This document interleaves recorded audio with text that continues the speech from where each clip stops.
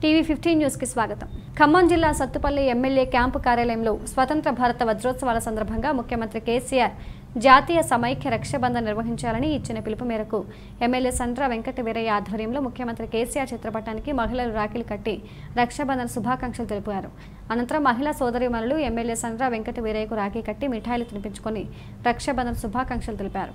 అక్క తమ్ముళ్ళు అన్నా చెల్లెల వెలకట్టలేని ప్రేమానురాగాలు ఆత్మీయతలకు ఈ పండుగ నిదర్శనమని ఎమ్మెల్యే సంట్ర వెంకటవీరయ్య అన్నారు. ప్రతి ఇంట సంతోషాలు వెలువరిస్తూ రక్షాబంధన కుటుంబ సభ్యుల మధ్య ఆనందోత్సాహాల నడుమ జరుపుకోవాలని ఎమ్మెల్యే సండ్ర ఆకాంక్షించారు.